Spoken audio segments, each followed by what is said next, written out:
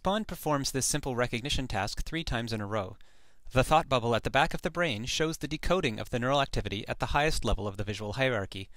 As you can see, this is quite accurate and only very briefly delayed from the input stimulus. The activity of this top level, which we can think of as inferotemporal cortex, is at the end of a four-layer hierarchy that includes visual areas V1, V2, and V4. The neurons in the earliest visual area, V1, have receptive fields and neural responses like those of primates. However, these areas are not shown in the video.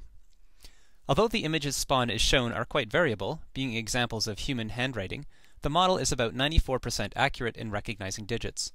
This is only slightly below the 98% accuracy of humans on the same dataset. It is almost 100% accurate on the images of typewritten digits used to specify the tasks. The neural activity in the motor area is at the top of the motor hierarchy. This can be thought of as a low-dimensional representation of a motor plan that is made progressively higher dimensional as it proceeds down the hierarchy. The plan needs to become higher dimensional in order to control the many muscles that ultimately drive the arm.